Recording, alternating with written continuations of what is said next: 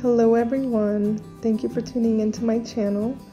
Here is a video of how I painted a view of Old San Juan using watercolor paints. I hope you enjoy it. Some of the materials I used are watercolor paint, water brushes, watercolor paper, glass jars, artist's tape, masking fluid, and paper towels.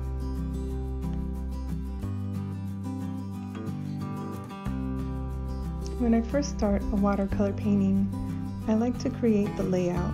I begin by creating the outlines of the shapes, and then from there, I begin to add color.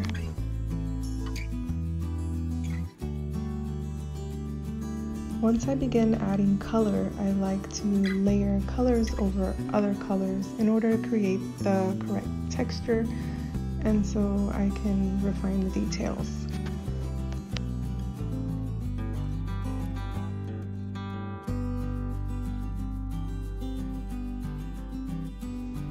I like to look for inspiration anytime I visit a new place or a favorite place I may have been to before. And this painting is inspired by a view of old San Juan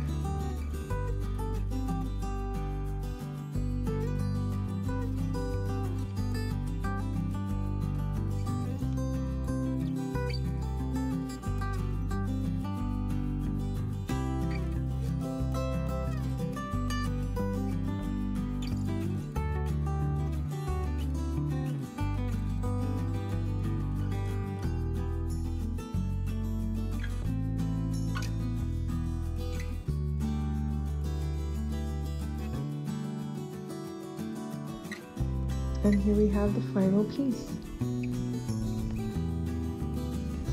Subscribe to my channel for more content and videos of how I create my art.